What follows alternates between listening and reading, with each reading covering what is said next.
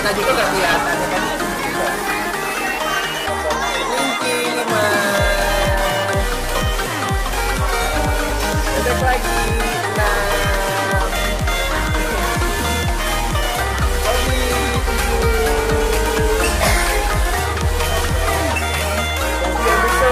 enam